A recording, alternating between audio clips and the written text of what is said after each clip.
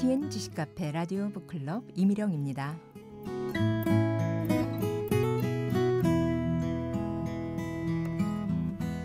오늘은 한국과 일본의 역사 선생님들이 함께 쓴 책 마주보는 한일사를 소개합니다. 자네가 지금 어디에 있는지 몇 번의 편지에도 답장도 없고 아버지는 자네를 찾으러 경성에까지 왔다가 돌아갔네. 부모의 고민, 은사의 걱정, 친구들의 걱정이 얼마나 큰지 모른 채 자신의 안전만을 도모할 것인가. 우리 연구실에서는 자네 한 사람만 아직 지원하지 않은 것을 안타깝게 생각하고 있네. 내 부족한 교육열에 무한한 책임을 느끼고 있네. 자, 오늘이라도 오게. 일제 강점기가 막바지에 다다른 1943년 경성제국대학의 한 교수가 신문사를 방문해 학도병 모집을 피해 달아난 제자를 찾는 기사 내용입니다. 스승의 이런 편지글에 해당 학생은 어쩔 수 없이 마지막 날 눈물을 흘리며 학도병에 지원했다고 하는데요.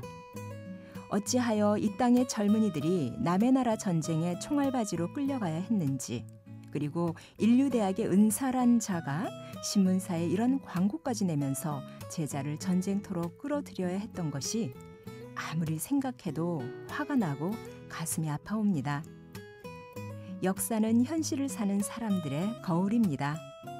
그런데 그 거울이 왜곡되어 있다면 거울의 역할을 제대로 하는 게 아니겠지요. 우리나라 일제 강점기 시절의 역사는 지금 얼마나 제대로 바르게 기술되고 또 가르쳐지고 있는지요. 한국과 일본의 역사 선생님과 전문가들이 힘을 합쳐 12년 동안 한일사를 함께 저술해 오다가 이제 마지막 책을 완간했는데요. 바로 오늘 소개하는 마주보는 한일사입니다.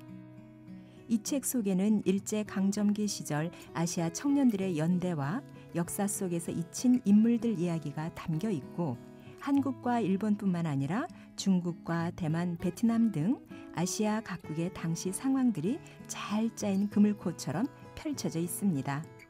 8.15 광복을 앞둔 오늘 차분하게 읽어가기에 좋습니다. 오늘의 책 한국의 전국 역사 교사 모임과 일본의 역사 교육자 협의회가 함께 쓴 마주보는 한일사입니다.